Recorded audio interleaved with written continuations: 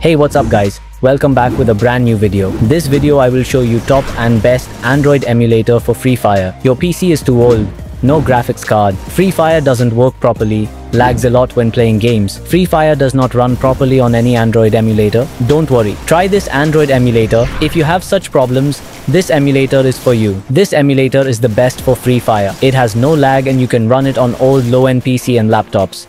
So let's begin how to download this Android emulator. So guys, this is the official Android emulator for Free Fire PC.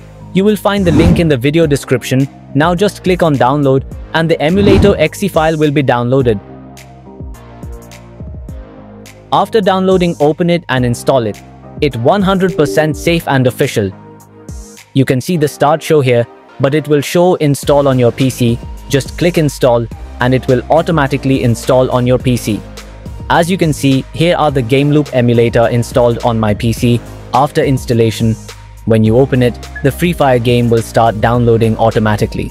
This is the new version of GameLoop emulator, official emulator for PUBG Mobile, Free Fire and Call of Duty Mobile and many more games.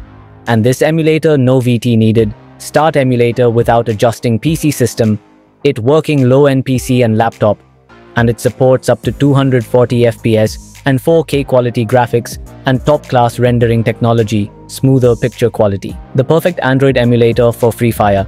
You can see how fast Free Fire is opening and its graphics are looking very smooth.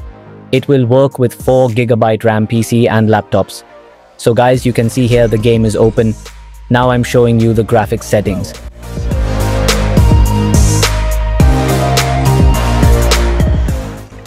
In this emulator, you can completely set the high graphics, now I will show you the gameplay so you can understand how it performs. My PC system recruitment. My PC RAM is 8GB and processor is 4-core processor. Without graphics card, you will understand by watching the gameplay. That's how good emulator are for low-end PC and laptop. This emulator has the best and perfect key mapping for Free Fire and you can set it as normal and smart mode as you like. Now watch the gameplay of this emulator.